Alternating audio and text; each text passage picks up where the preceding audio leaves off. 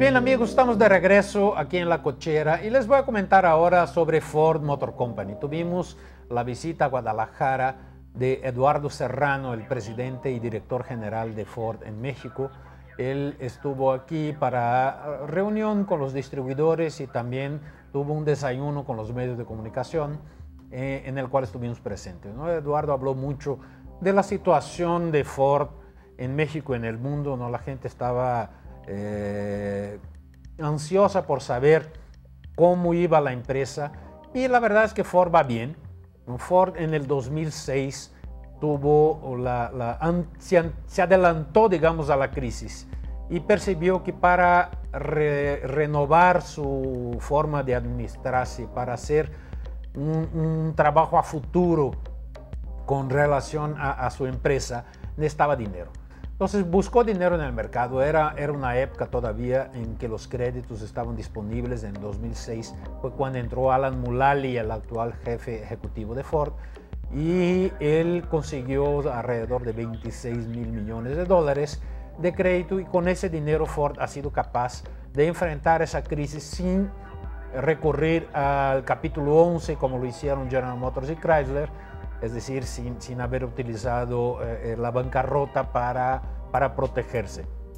Eso le da obviamente una solidez y una imagen muy buenas, ¿no? tanto que la empresa ha estado consiguiendo una mayor participación de mercado, principalmente en Estados Unidos, porque la gente ve como que Ford fue la única que supo realmente salir de, de sus problemas, es más, supo ni siquiera tener, ni siquiera entrar al nivel de problemas que tuvieron sus, mayores rivales. En México también las cosas van bien. Ford tuvo una inversión muy fuerte o varias inversiones fuertes en México en los últimos cinco años. La primera de ellas fue destinada a la planta de Hermosillo, donde se producen tres sedanes, el Ford Fusion, el Mercury Milan y el Lincoln MKZ. Esos vehículos han sido muy exitosos, principalmente el Fusion, es exitoso en prácticamente todos los mercados donde está presente. Curiosamente, México es el mercado donde más trabajo le ha costado entrar al, Fusion, pero cuando vemos, por ejemplo, Brasil, eh, donde el coche cuesta el doble que aquí y vende también el doble que aquí. Eh, es, un éxito rotundo. Eso ha hecho que Hermosillo pueda funcionar a toda su capacidad en tres turnos. Y las otras inversiones de Ford fueron la planta de motores de Chihuahua, que va a empezar a producir motores diésel para, para varias aplicaciones de, de, Ford Motor Company y la principal y más reciente de ellas es en la planta de Cuautitlán, en la que se va a construir el nuevo Fiesta, con, que es una plataforma mundial, es un coche que va a tener el, la misma base, la misma plataforma, la misma arquitectura, es decir, la, la, lo que antes llamábamos chasis, que no es exactamente un chasis tubular como algunos conocemos, pero esa base va a ser la misma en Europa, en China y en México. Y este vehículo se va a construir aquí en México, en Cotitlán, para exportación a Canadá y Estados Unidos en un primer eh, programa, en una primera etapa del programa, y luego también a Sudamérica con Brasil como el principal mercado exportador. Claro que también se va a vender en México. Las diferencias entre uno y otro serán mínimas, una motorización tal vez distinta, terminados eh, un poco más o un poco menos caros, niveles de equipamiento, porque obviamente la capacidad adquisitiva del canadiense, del estadounidense o del mexicano son distintas y la empresa tiene que adaptarse a, esos mercados. Yo le pregunté también a Eduardo Serrano, eh, ¿por qué todavía no tenemos diésel? Obviamente por precios, es que está trabajando, perdón, no diésel híbridos eh, que eh, es un problema de precio, me confirmó eh, Eduardo eso. Y también le pregunté qué pasaba con relación al diésel. Dice que Ford prefiere todavía no utilizar diésel en los vehículos de pasajeros, aunque sí ve aplicaciones en vehículos comerciales, lo, que es natural. ¿no? También le pregunté sobre la caída de Ford en México con relación a, a otras marcas. Ford tenía hasta el año pasado el tercer lugar en México y ahora está en cuarto porque Volkswagen ya lo rebasó.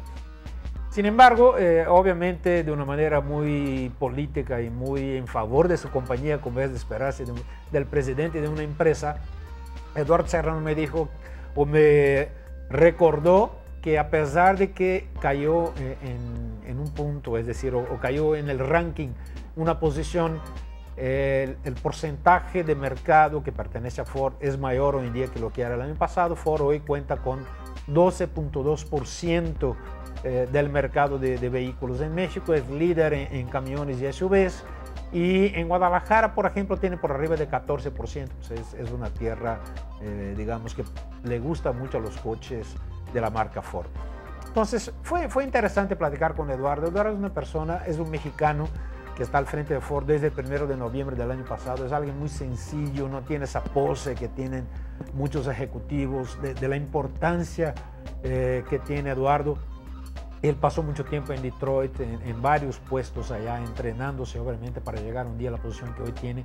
Fue presidente también de Ford Venezuela, en la época en la que Venezuela, perdón, todavía permitía que marcas eh, eh, extranjeras importaran coches allá. Él fue presidente de, Ford allá también y ahora está aquí, me parece que está haciendo muy buen trabajo.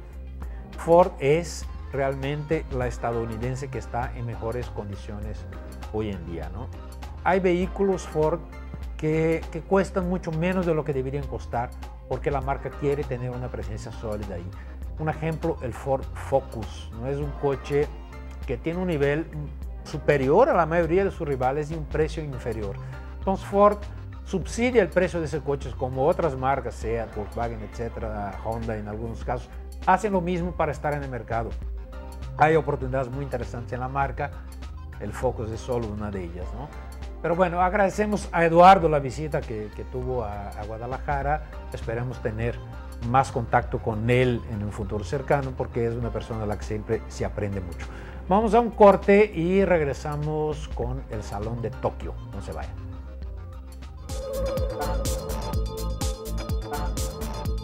Hola amigos, les quiero invitar a esta promoción de Toyota, Toyota con sus distribuidores en Guadalajara, todos al Mundial. Participen, miren, comprando un Toyota o, o llevando el Toyota que ya tienes al servicio, puedes ganar boletos para ir al Mundial de 2010 en Sudáfrica. Por cada 20 mil pesos en la compra de un automóvil, accesorios o refacciones, obtendrás un boleto para, participar en la rifa de viajes al Mundial, pantallas LCD o muchos premios más. Podrás también obtener cinco boletos al hacer un servicio de mantenimiento o al comprar una protección extendida de un auto Toyota a través de Toyota Financial Services. Eh, durante todo ese mes de octubre puede llevar también una pickup Tacoma con mensualidades de 6.137 pesos. Toyota, dos distribuidores en Guadalajara, Toyota Country y Toyota Guadalajara Acueducto.